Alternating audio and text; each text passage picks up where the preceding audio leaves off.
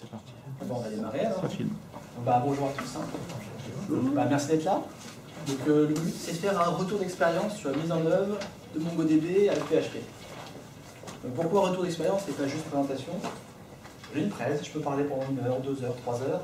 Euh, ça n'a pas la même valeur que si vous me posez des questions. Si j'arrive pas au bout de la présentation parce que vous avez plus de questions, que vous m'interrompez, ça ne me dérange pas. Pour moi, le but, c'est vraiment qu'on échange et que vous ayez la réponse aux questions que vous allez vous poser. Parce que tout simplement, je ne vous connais pas à l'avance, je ne sais pas votre expérience sur Mongo, sur PHP, je ne sais pas ce qui vous intéresse ou pas. Donc on va échanger. Échanger, c'est n'hésitez pas à m'interrompre, posez toutes les questions que vous voulez. Alors d'abord, introduction, qui suis-je? Donc je m'appelle Julien Bourdin, vous pouvez me retrouver par mail, sur Twitter de temps en temps. J'ai créé une boîte euh, assez récemment avec plusieurs de mes anciens collègues pour faire un CMS. Et c'est dans le cadre de ce projet CMS qu'on utilise MongoDB comme moteur de base de données. Parce que j'espère que vous savez que MongoDB c'est une base de données. On utilise aussi Elasticsearch, on utilise pas mal de technologies. Donc mon but aujourd'hui, c'est d'être là en tant qu'utilisateur de ces techno et de faire cet échange. Mais c'est comme que vous connaissiez mon petit projet. Donc mon petit projet, c'est la salamandre que vous voyez là, c'est Rubedo. C'est un CMS qui utilise un peu toutes les technos que je vous montre là. Maintenant, on est là pour parler de MongoDB. Donc MongoDB, déjà, c'est du NoSQL. Alors, NoSQL, ça parle à tout le monde Est-ce que vous savez dire ce que c'est? Est-ce que quelqu'un voudrait se lancer Tu vois ce que c'est que le NoSQL Alors, il y, a deux, il y a deux interprétations. Souvent, la première, c'est tout bêtement NoSQL, pas de SQL. Et souvent, c'est plutôt not only SQL. Tout à fait. Mais de façon plus générale, c'est de dire que bah, on n'est pas dans le cadre d'une base de données relationnelle, mais qu'on est sur d'autres bases de données, ou tout du moins des bases qui ont d'autres façons de penser que la base relationnelle. Donc c'est ça qu'il faut noter, c'est que quand on va parler de NoSQL, c'est pas un seul concept, c'est pas une seule façon de penser, il y a plein d'implémentations possibles de l'idée du NoSQL. L'important c'est de se dire, on a des cas d'usage qui sont très bien traités par les bases de données relationnelles, et je ne veux surtout pas vous dire, n'en utilisez plus. Ce que je vais vous dire aujourd'hui, c'est qu'il y a des cas dans lesquels bah, la base relationnelle n'apporte rien ou apporte de la contrainte et que d'autres solutions existent. Donc pourquoi est-ce que moi je me suis dit allons utiliser MongoDB Donc pourquoi MongoDB à MongoDB déjà qu'est-ce que c'est? Le principe de MongoDB, c'est une base de données qu'on appelle documentaire. Alors une base de données documentaire, c'est une base de données ou une unité d'information, c'est le document. Un document est regroupé dans des. Enfin, les documents sont regroupés dans des collections. Et une collection, c'est un ensemble de choses, de documents, mais qui peuvent être hétérogènes entre eux.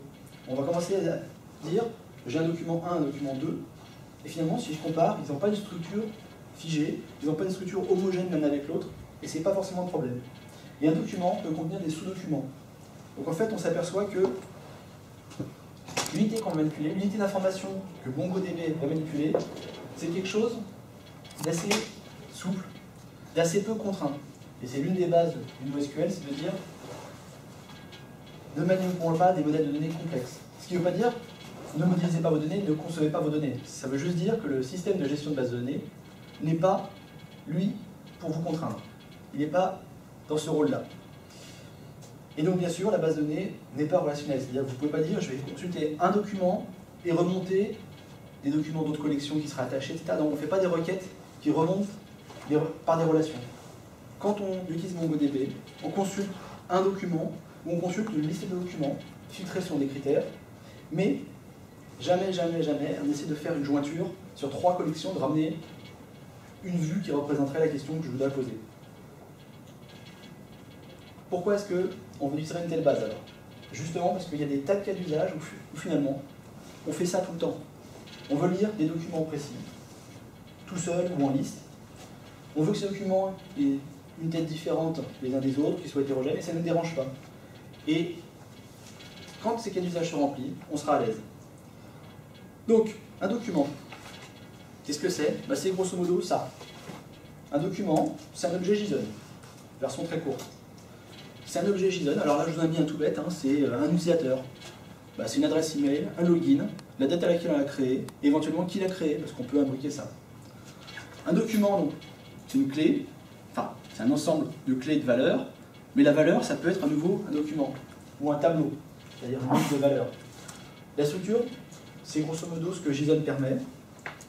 Ce qu'il faut retenir, c'est que votre base de données, elle va permettre ça. de stocker ça, de rechercher ça, de poser des questions là-dessus. Vous me dites, c'est super simple, c'est basique. C'est justement l'idée générale de travailler avec MongoDB, c'est quand votre cas d'usage, c'est manipuler des données comme ça. N'allez pas chercher un énorme SGBD relationnel bien consolidé, bien structuré, alors votre cas d'usage n'est pas là. Prenez celui qui marche bien, qui est simple. Donc l'exemple que j'aime bien mettre en avant quand je fais euh, mon projet de type euh, CMS, c'est de dire, voilà, je vais avoir une notion de type de contenu, et je vais comparer, selon que je fais du modèle relationnel ou du modèle non relationnel, comment je modélise mes données. Donc un article. Un article, typiquement, bah, ça a des données qui sont propres, un titre, une image, comme je vous l'ai remonté ici. Ça a des commentaires, une catégorisation et des tags, par exemple. Quand vous le représentez en relationnel avec MySQL, rapidement, on arrive à faire six tables pour représenter ça. Est-ce que tout le monde est d'accord avec cette représentation de ce que c'est qu'un article? Je pense que vous avez tous fait ça. Donc si vous voulez aller chercher les contenus, c'est déjà citable. Et si vous manipulez 10 types de contenus, qui ont chacun leur propre façon d'être représentés, vous allez multiplier le nombre de tables. Vous allez garder peut-être la même table d'article, mais avec des relations sur d'autres tables de référence, et très vite vous arrivez à quelque chose d'un peu pénible, c'est-à-dire quand vous faites une requête, vous allez consulter six tables, deux jointures, au moins. C'est le cas que vous avez ici. Quand vous êtes dans MongoDB, chacun de vos documents, pour qu'il représente ça, vous le mettez dans cette structure arborescente, qui est grosso modo le JSON que vous pouvez imaginer, stocké directement. Donc pour un type de contenu, vous avez une collection. Évidemment, pour 10 types de contenu, vous restez sur une collection. Et finalement, quand vous voulez aller chercher une liste de contenu, vous faites une et une seule requête. Donc voilà un peu schématiquement comment on sépare les approches. Alors il est évident que si vous voulez approcher les choses différemment et vous dites que dans cette approche-là, des fois vous allez consulter des articles, mais des fois vous allez consulter plutôt ça, plutôt ça, que dans votre modèle de données, vous allez changer votre point de vue régulièrement, là le modèle relationnel a, euh, un gros avantage. Mais quand votre cas d'usage, qui était le mien, c'était de dire on gère des contenus, on affiche des contenus, vous êtes toujours centré sur la même notion, ici la notion d'article, c'est évident que ce modèle-là vous favorise énormément la tâche. Ah, je suis dans une animation qui ne veut pas passer. Voilà. Alors, la conséquence, c'est que ça va être performant pour ce cas d'usage. Un document, c'est autosuffisant. Toute la donnée que vous manipulez est dans le document. De fait, quand vous voulez aller chercher les données, c'est pas dur d'envisager que votre système de gestion MongoDB se disent tant que j'ai la place en mémoire, je mets les documents en mémoire. donc, pour peu que vous ayez suffisamment de RAM par rapport à votre quantité de données, bah, les données sont toujours en mémoire.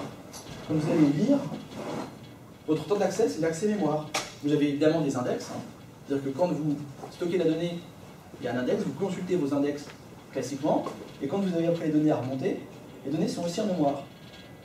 Vous imaginez bien que les temps d'accès sont vraiment différents de l'accès pour une base de données, où vous êtes quasiment certain de repasser sur le disque, ou bien, si vous avez de la chance, votre requête a déjà été jouée, donc elle est en cache mémoire, dans ce cas-là, vous avez des choses comparables. Mais sauf que comme chaque requête est différent, le cache de résultat de requête, il augmente assez rapidement au volume, alors que finalement, quand vous êtes dans ce cas ici, c'est vos données qui sont en mémoire, et c'est beaucoup plus simple. Donc il y a des index, hein, bien sûr. Chaque champ de vos documents, vous pouvez le déclarer comme index. Il y a toujours une notion de clé primaire, c'est-à-dire que chaque document aura un ID, ça je le dirai après, mais vous avez la possibilité de rajouter des index ou de faire des recherches classiques sur un critère, sur un autre, et d'avoir les performances d'un index. Donc on est, au niveau performance, quasiment toujours en mode j'accède à la donnée mémoire. Et en écriture, comme votre écriture est atomique, vous voulez écrire un document, vous écrivez qu'un seul endroit sur le disque, pas dans l'espace disque de chacune des tables qui sont potentiellement pas réparties comme ça vous arrange au moment où vous écrivez. Vous êtes encore une fois, en écriture aussi, très rapide. Oui. Une question par rapport à ça. Est-ce que tu regroupes tout ensemble, ton article et tous les commentaires? Ouais. Mettons, j'ai un article qui est super vendeur et j'ai plein plein de commentaires. Comme tu écris ton document de manière atomique, comment tu gères la concurrence? Est-ce que tu vas pas avoir des, blocages, en fait, des, choses qui vont s'empiler à ce niveau-là? Tu as des risques. Tu as des risques, effectivement. Euh, sachant qu'après, c'est Mongo qui euh, va, gérer un truc à base de euh, premier qui écrit, premier servi. L'idée, c'est quand tu vas insérer ton commentaire dans le document, tu vas pas dire voilà le nouveau document que tu auras modifié, tu vas dire ajoute dans mon tableau des commentaires ce nouveau commentaire. Donc l'écriture va être résolue, deux commentaires arrivent en même temps, bah, un passera avant l'autre. Ouais, mais, les qui deux-. Il n'y en a pas qui vont être perdus si tu travailles dans le mode où tu t'intéresses à être sûr de ne pas en perdre. Bon, non, je reviendrai là-dessus. Tu as deux modes de fonctionnement, tu n'es pas obligé de t'intéresser à être sûr de garder tout. Tu peux privilégier la vitesse, quitte à perdre un ou deux commentaires, ou tu peux privilégier la performance. Ou tu peux privilégier, pardon, la cohérence, un lapsus. Donc tu peux. Ça, oui J'avais une autre question pour, pour comprendre aussi, parce qu'un document, normalement, il y a un auteur, il y a des, des choses comme ça, notamment les commentaires, il y a des auteurs. Ouais. On va pas mettre le nom, de l'au- toutes les coordonnées de l'auteur dans, dans le commentaire. Donc c'est-à-dire qu'à un moment donné, on a une notion de jointure. Alors, j'en reparle un peu plus loin, Ah. mais pour répondre vite, t'as pas, tu vas pas faire de jointure. Tu vas soit dénor- ce qu'on appelle dénormaliser, c'est-à-dire que tu vas noter l'ID de l'auteur dans le, dans le commentaire, soit, parce que tu sais que tu vas très souvent vouloir afficher le nom sans aller vérifier ce- celui-là, tu vas noter à la fois ID d'auteur et son nom tel que tu vas le réafficher. Comme ça, ça évite de requêter à nouveau. On n'est pas dans la normalisation de base de données. hein. La notion de normalisation, c'est clairement une notion de, relationnel. On n'a pas peur de dénormaliser quand on fait ça. Ça, ne, ça augmente des risques de ne pas être cohérent. Si le mec il a changé son nom dans son. Voilà. Ce ne sera pas forcément cohérent, mais qu'est-ce que ce sera plus rapide? Donc il faut arbitrer les deux. Après, mettre à jour les documents en disant bah, celui qui a cet ID là, mets-lui ce nouveau nom, ça reste abordable. Donc c'est toujours un arbitrage. Donc, par exemple, dans Webedo, on stocke dans chaque collection la personne qui modifie, la date de modification, au moment où l'écriture va arriver, juste avant, on enrichit l'écriture de ces informations-là, et on dénor- on dénormalise de fait, mais on sait euh, faire un événement si l'utilisateur change son nom, le repropager sur les collections. Ça prend un peu de temps quand il y a vraiment beaucoup de données, mais c'est du temps, on le lance et on attend que ça se fasse tout seul. On n'a pas besoin d'acquitter que ça s'est fait, par exemple. Sachant qu'encore une fois, l'ID est toujours présent, est toujours juste, si le nom, c'est un ancien nom qui n'a pas été mis à jour, généralement ce ne sera pas grave. Donc j'accepte ce risque. Alors, également intéressant dans, mon- dans l'adaptabilité. En anglais, scalability, qui, est plus, qui parle plus aux gens, la montée en charge. Qu'est-ce qu'on fait généralement sur les bases de données? On veut augmenter le nombre de bases pour augmenter la fiabilité, ou augmenter le nombre de bases pour augmenter la performance. Mongo va proposer deux mécanismes. Un mécanisme de réplication. J'écris sur une machine et puis ça va se propager sur d'autres machines. La propagation est asynchrone, c'est-à-dire vous écrivez sur une machine qui va après aller renseigner les autres machines en disant voilà l'information qui est arrivée. Vous pouvez choisir de, dire confirme-moi l'écriture dès l'instant qu'un certain nombre d'esclaves a confirmé l'écriture aussi. C'est-à-dire que vous n'êtes pas obligé de dire c'est asynchrone, vous pouvez le rendre synchrone en option. Tous les esclaves, deux esclaves, ou pas d'esclaves, on se dit que ça va bien aller. Les différentes machines, dans cette approche, il y a une machine maître et une machine esclave, c'est un cluster. La machine maître peut changer, c'est-à-dire que vous perdez une, la machine maître, un esclave peut prendre le relais et continuer à travailler.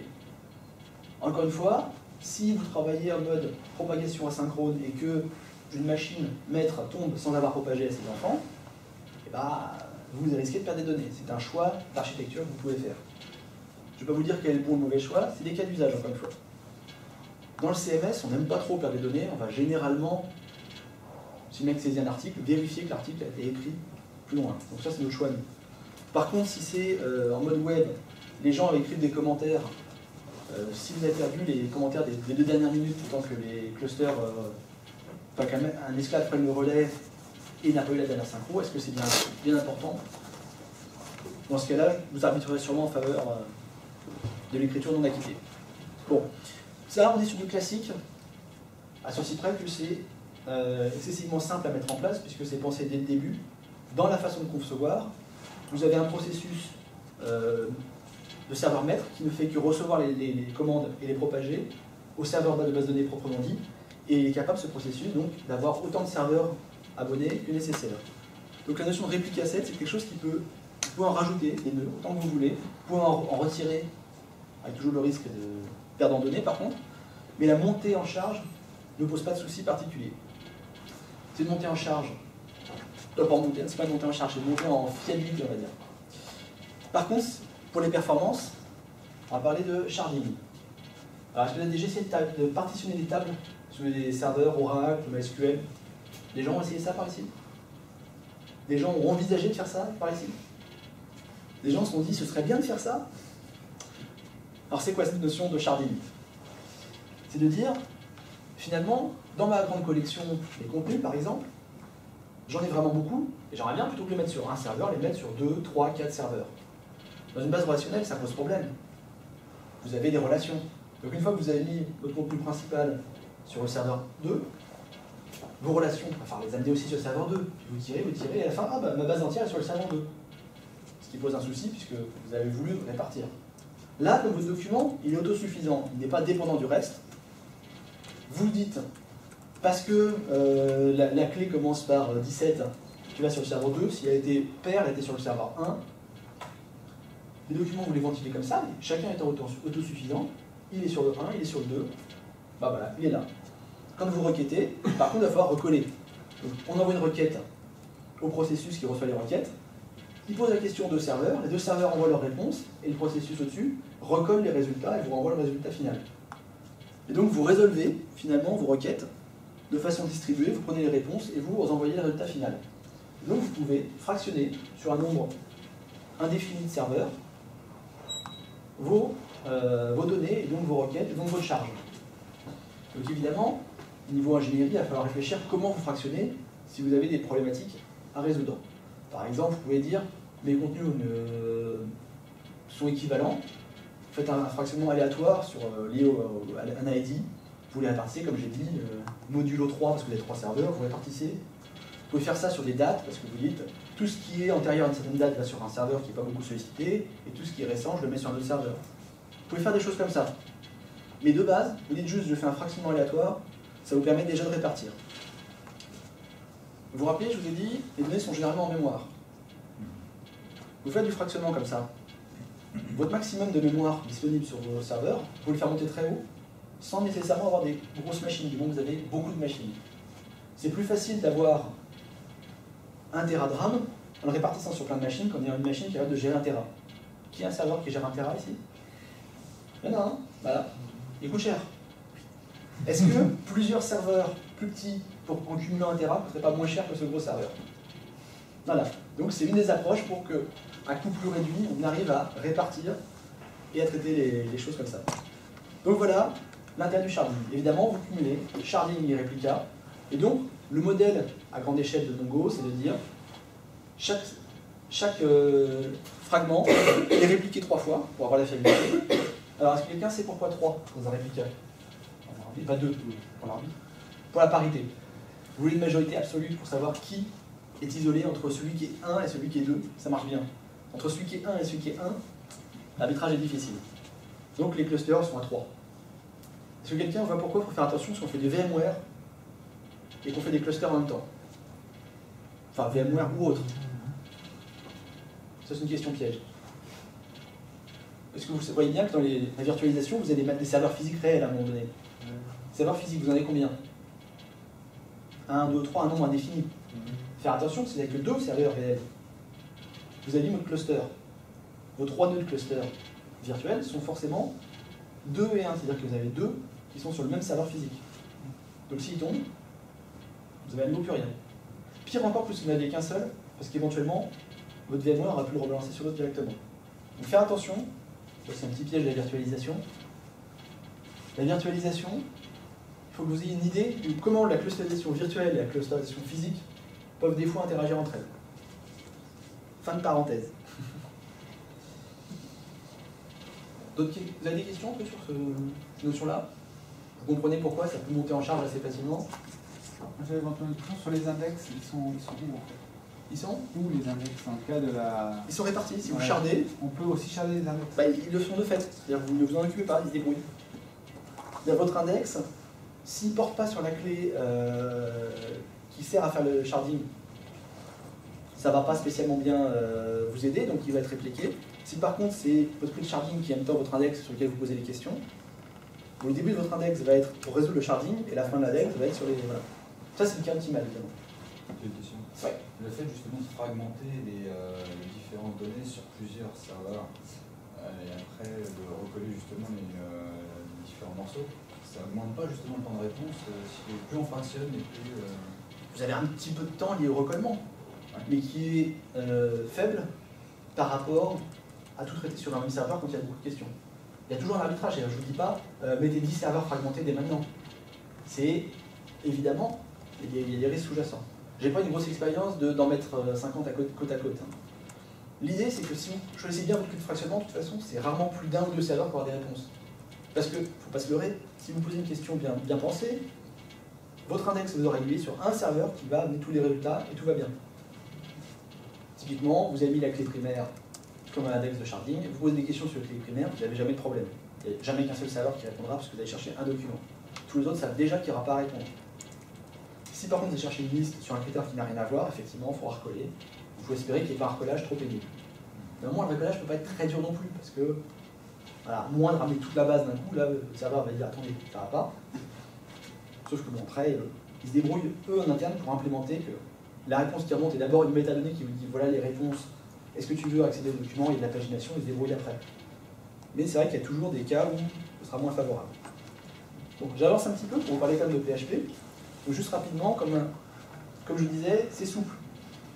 Donc vous pouvez dans un document rajouter des champs, rajouter des index avec ou sans contrainte, et vous avez plein d'opérateurs sympathiques qui vous permettent de filtrer ces données. Donc c'est très hétérogène, et pour moi qui fais du CMS, pouvoir dire je crée un nouveau type de contenu qui correspond à un billet de blog, à une qualité, à une exposition, à, je sais pas, une, euh, une séance de cinéma particulière, parce qu'on veut exposer des données qui sont structurées de façon différente à chaque fois. Mongo me permet d'avoir toujours la même collection, contenu, qui propose ces contenus hétérogènes, qui permettent de faire soit des listes homogènes, soit des listes d'un seul type de contenu, homogène, soit des listes de plusieurs types de contenus hétérogènes. Voilà, c'est ce que j'ai illustré ça. Un contenu, ça ressemble un peu à ça. Et quand je le représente, bah, je dis un contenu, c'est un document qui contient toutes les données. Je gère l'hétérogénéité. Et finalement, bah, je consulte quasiment toujours qu'un contenu qu'une liste de contenus. C'est le CMS basique. Évidemment, quand vous allez un peu plus loin, il y a d'autres choses. Donc en PHP, ah, un driver, pas un drive. Un driver natif est proposé en PHP. Donc euh, il faut avoir euh, l'extension PECL Mongo activée. Donc c'est pas complètement euh, livré par défaut, mais quasiment tous les bundles maintenant le proposent, sauf un ou deux de temps en temps. Donc faites attention, si vous ne l'avez pas, vous aurez tout de suite une erreur, vous saurez que c'est raté. Voilà. Donc comment ça marche? Eh ben, Vous instanciez un petit objet, Mongo Client. Je l'ai mis ici sans paramètre, évidemment. En argument, vous rajoutez sur quelle IP vous vous connectez, avec éventuellement un login, un mot de passe. Là, ça ressemble à tout ce qu'on fait avec toutes les bases données. Vous vous connectez, vous avez un client d'un côté qui va appeler le serveur de l'autre. Vous allez choisir une base, comme j'ai montré, select le DB. Et donc vous allez avoir un objet qui représente une collection et qui va vous permettre de faire des requêtes. Donc vous avez la connexion qui vous permet d'aller chercher une base, qui vous permet après d'aller chercher une collection. Donc la collection, c'est l'équivalent de la table, hein, comme vous avez l'habitude des bases euh, relationnelles. Votre table, votre collection, vous allez maintenant lui poser des questions. Vous allez dire à cet objet table, donne-moi les éléments qui, par exemple ici, le document c'est collection, find one, et mes critères pour trouver le document. Find one remonte toujours une donnée. Si vous voulez tout- liste de données, c'est un find qui vous remontera non pas un document, mais un objet Mongo qui représente une liste de résultats. Et après, vous allez prendre une partie ou tous des résultats. Donc les requêtes, comment ça se présente? Je vous ai présenté le CRUD, le fameux CRUD. Tout le monde connaît cet acronyme? Create, Read, Update, Delete. Parce que c'est principalement ça qu'on fait sur les données. Parfois on fait des plus compliqués avec des jointures, des listes, etc. Mais moi, je fais quasiment que ça, et avec ça je fais une application quasi entière. Donc le read, je vous en ai parlé, donc avec le find one. Le create, je fais mon objet, qui est un array, ou un array d'array, d'array, d'array, si vous avez des documents un peu complexes. Là on est dans PHP. Hein. Si vous manipulez d'autres langages, ça va être la même chose. Et après, bah, vous dites collection, save de mon objet. Alors évidemment, s'il y a des contraintes, il peut vous répondre non, je ne suis pas d'accord, parce que vous allez essayer de remettre un nom qui est déjà pris, des choses comme ça. Mais principalement, c'est ça la réponse. Update. Premier argument quelles sont les nouvelles données? Deuxième argument, euh, pardon, deuxième argument, les nouvelles données. Et pour premier argument, le critère de filtrage. Donc on revient sur ce qu'on connaît un peu avec les requêtes SQL. hein. Update, set, where. Pour trouver le même principe. Et delete. Un filtre pour dire qu'est-ce qui va être impacté. Et remove. Vous voyez? C'est, Si vous êtes familier du SQL, tout ça, là vous n'êtes pas perdu par le code. C'est le même principe exactement, juste formulé différemment. Alors, important à savoir, chaque objet dans n'importe quelle collection a un object ID, un identifiant unique. Cet identifiant unique, il est composé d'un certain nombre de paramètres qui sont liés au contexte dans lequel on a créé cet identifiant. L'identifiant est long et suffisamment discriminant sur ces différents critères pour qu'il soit universel. Est-ce que c'est vrai ça, quand je vous le dis comme ça? Est-ce que ça apparaît vrai? Est-ce que vous pensez qu'un identifiant est universel ou pas? Alors la réponse est à la fois oui et non. Il est très universel si vous les générez bien un par un. Si par contre vous avez deux serveurs où vous avez remonté le même dump, c'est plus du tout universel parce que vous avez remonté les mêmes données. Donc juste ça, si vous voulez travailler sur des notions de synchro avec des données qui ont été la même à un moment donné, faut aussi avoir des identifiants qui sont les mêmes. Mais autrement, si vous les générez, vous pouvez penser que chaque identifiant est unique et pas unique au sein d'une collection. Par contre, l'unicité au sein de la collection est évidemment imposée parce que c'est une clé primaire, au sens où on a l'habitude de manipuler. Donc en PHP, vous allez pouvoir générer un identifiant unique, soit en connaissant la chaîne de caractères qu'il représente, et vous faites euh, mon identifiant égale new mongo ID de cet identifiant, soit demander à PHP de générer un identifiant, puisque comme on a dit, les règles qui permettent de générer un identifiant ne sont pas portées du tout par le serveur lui-même. Donc votre serveur PHP peut vous donner un ID, vous n'avez pas quoi écrire en base, vous avez déjà l'ID. Donc vous allez pouvoir, dans certains cas, vous dire j'ai l'ID, je vais le connaître, je vais le propager à des gens qui en ont besoin, et j'aurai écrit que plus tard. Attention à ne pas faire ça n'importe comment. MySpace, il n'y a pas très longtemps, m'a fait une blague comme ça quand j'ai dû travailler dessus.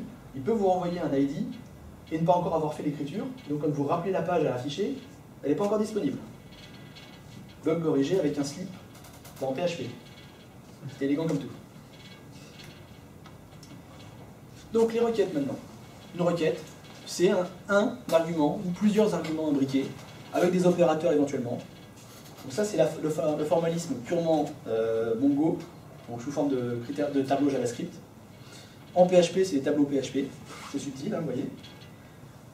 Mais c'est la même chose. Le principe, c'est ça, c'est de dire, on va formaliser la requête. C'est pas un langage SQL, c'est vraiment un langage, de filtre, on va dire. On a des opérateurs, bien sûr. Donc là, par exemple, j'ai dit que c'était à la fois un contenu qui avait une locale en française et qui était actif. Typiquement, dans mon CMS, je fais ça assez régulièrement. Je veux que les contenus qui sont dans une langue possible. Et que ceux qui sont publiés. Et ceux qui ont été désactivés pour une raison ou pour une autre. Je peux faire donc des choses beaucoup plus compliquées avec des notes, avec des exists par exemple. Comme on a dit, quelque chose peut être hétérogène. On peut avoir des contenus qui ont un champ, des contenus qui n'ont pas un champ. Vous ne voulez pas remonter un contenu qui a une valeur particulière de ce champ, vous voulez juste remonter des contenus qui ont ce champ. Peu importe ce qu'il y a dedans. Vous avez cet opérateur-là. Vous avez des greeters, des lesser than, des in, et vous mettez un, tableau de valeurs possibles. Vous avez d'autres choses sympathiques, je vous ai mis un exemple. GeoWithin. Ça, c'est plus sympathique déjà. C'est-à-dire qu'en base, vous allez pouvoir stocker une donnée complexe de type GeoJSON, donc qui a les coordonnées du point, et pouvoir poser des questions, dire trouve-moi donc un objet qui est dans cette zone-là. Typiquement, un rectangle qui va de tel XY à tel autre XY. Là, vous voyez bien la fenêtre de type euh, Google Maps, euh, OpenStreetMap, dans lequel vous remontez vos points. Vous pouvez mettre un index là-dessus, et donc avoir des requêtes très rapides là-dessus. Vous avez intérêt d'ailleurs à faire un index qui met ça l'argument utilisé en dernier argument pour faire d'abord les filtrages, puis la distance, qui est quand même plus efficace que l'inverse. Bon. Sachez seulement que vous mettre des index là-dessus. Alors là, j'en profite pour faire un petit peu de pub. J'ai fait un moyen de, faire, de manipuler des objets pour représenter les filtres plutôt que des tableaux, tout simplement pour pouvoir commencer à créer un objet et l'altérer à d'autres endroits du code, et à la fin appliquer cet objet-là en filtre. Pourquoi? Typiquement, les droits d'accès aux données, j'avais envie que ce soit appliqué uniquement euh, à une couche précise de mon application pour être sûr de toujours, toujours les mettre en œuvre. Je veux pas que parce que je prends un chemin A ou un chemin B, j'ai pas mes critères de droit qui été appliqués. C'est un peu la stratégie qu'on fait souvent, malgré tout, en, SQL. hein. Avoir des services d'accès aux données. Ces services rajoutent des where finalement qui vous filtrent vos données et vous ne voyez, vous ne voyez que ceux sur lesquels vous avez droit. Donc j'ai fait une petite recommandation, je vous ai mis le GitHub ici.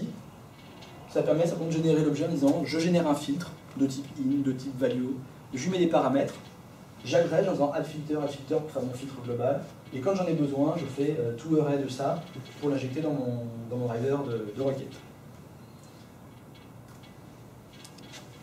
Je passe rapidement, j'en ai déjà parlé, quand on écrit, on peut interagir de façon différente, avec acquittement, sans acquittement, en faisant de l'upsert. Mes updates, je peux le faire sur, je modifie un enregistrement et je m'arrête, je fais des enregistrements multiples. Et donc tout ça, c'est des paramètres supplémentaires que vous pourrez mettre dans vos requêtes, dans vos saves, dans vos updates. Vous pouvez dire quand tu écris, comporte-toi de cette façon-là. Et enfin, le dernier point à noter en PHP, mais pas que PHP, c'est le point que j'ai beaucoup utilisé, c'est la notion de gridfs. Gridfs, c'est un moyen que Mongo propose pour stocker des fichiers en base. Donc vous pouvez mettre des fichiers indéfiniment grands dans votre Mongo, qu'ils soient cluster ou pas cluster, et donc vous pouvez répartir vos fichiers sur un ensemble de machines, donc pas avoir de problème d'espace disque à gérer de la même façon. Et pour y accéder, bah voilà l'exemple. Je fais une requête, alors c'est plus du find one sur un, objet collection, c'est sur un objet gridfs collection. Mais vous obtenez votre image, vous générez une ressource en PHP et vous la streamez pour la renvoyer. Vous avez un framework, et les frameworks aiment bien générer des objets de type euh, réponse sur un stream, et donc vous n'avez même pas besoin de faire quelque chose de compliqué, vous dites juste prends ça comme réponse et envoie. Moi je l'ai fait avec ZenFramework 2, j'ai un petit objet qui est une réponse de type stream, ça passe tout seul. Vous faites votre requête, vous obtenez votre résultat, votre résultat vous le passez à votre framework pour qu'il l'envoie comme une réponse, et vos fichiers, ils sont renvoyés. Ils n'ont pas consommé de mémoire en PHP, ils vont juste être streamés à la fin, mais ça ne coûte pas de surcoût mémoire. Vous n'avez pas besoin de le faire passer par des états temporaires. Et surtout, avec ça, vous pouvez faire en sorte que tous vos fichiers aient des droits d'accès, qui soient pilotés par votre base de données, parce que vous pouvez mettre les mêmes critères, les mêmes règles. Et donc vous pouvez avoir des systèmes robustes par rapport à ce que font beaucoup de CMS, où finalement un, fichier, une fois qu'il est uploadé sur le serveur, si quelqu'un en connaît l'URL exact, il y accède indépendamment de ses droits. Là, ça vous coûte le fait que PHP va s'exécuter, mais s'exécute dans un cas où il ne fait quasiment rien. Il va juste vérifier que vous avez le droit de voir le fichier, sinon il ne va pas le trouver. Et après, il vous renvoie le fichier. Donc voilà, ça c'était le tour de, de vue de comment on met en PHP. Maintenant, les petits points d'attention. On a déjà eu la question tout à l'heure. Ce n'est pas une base relationnelle. Aïe, mais moi j'ai des relations. Moi j'aime bien avoir euh, l'idée que mon contenu il a un auteur et que l'auteur il existe quelque part. Que mon contenu il est catégorisé sur des axes de catégorisation qui sont des listes de références. Cette notion-là, effectivement, vous ne pouvez pas la faire par des jointures. Qu'est-ce que vous allez faire? Vous allez faire ce qu'on faisait en PHP avant, à certaines époques, et qui finalement marche pas si mal. C'est-à-dire c'est l'application qui fait le pont entre votre liste de références et les identifiants de cette liste. Parce que très souvent, vous n'avez pas besoin d'avoir concaténé l'information au moment où le résultat arrive, vous avez besoin de le recoller après. Donc vous allez gérer au niveau applicatif. Donc souvent, vous allez avoir un champ qui contient l'ID de ce que vous avez mis en rapport. Et cet ID, vous allez le résoudre a posteriori. Souvent, quand c'est la catégorisation, euh, votre ID, c'est finalement le libellé de la catégorie. Voire même le libellé dans la bonne langue. Bon, et eh ben, on remonte après, c'est pas un vrai problème, c'est pas un vrai souci. Par contre, effectivement, il bah, faut bien choisir comment on, fait ces, arbitrages-là, entre je dénormalise et je stocke tout dans le document, ou je garde cette notion d'ID et je m'impose de faire au moins deux requêtes, une pour l'objet, l'autre pour l'information. Puis n'oubliez pas vous pouvez aussi faire des caches. Si jamais, pour une raison X ou Y, vous savez qu'il y a une liste qui remonte tout le temps, tout le temps, tout le temps, tout le temps, commencez à envisager d'avoir un cache qui vous fait en sorte que cette liste soit toujours disponible. Alors, un autre cas d'usage qui est courant, qui est un peu la conséquence qu'on a dit, c'est le cas où on va vouloir que les documents soient arborescents, typiquement des pages. Dire qu'il y a un document par an, qu'il y a des enfants, qu'il y a des enfants. Comment faire pour arriver à gérer ça? Donc là, et ça c'est un sujet qu'on va souvent repasser sur les forums Mongo, comment je le représente? Comment je le représente en Mongo? Bah Déjà, je vais vous dire comment vous le représentez en MySQL. En MySQL en général.